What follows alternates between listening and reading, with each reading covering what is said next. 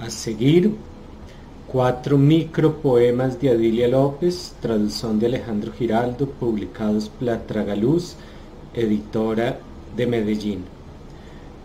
¿Para qué sacrificar una página más en blanco si todavía se escribiera en piel de becerros recién nacidos? ¿Me atrevería a sacrificar becerros recién nacidos? Supongo que sí. Voy a dedicar todos mis poemas a Diderot. Escribo solo a Denise.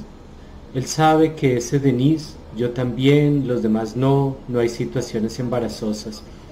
Si no hubiera conocido a Diderot, diría hoy cosas diferentes de las que digo hoy. Le debo mi fortuna y mis contrariedades. Mercurocromo, bofetadas, café con leche, opio, toda una vida en busca de un poema del que Diderot no gusta. Gracias.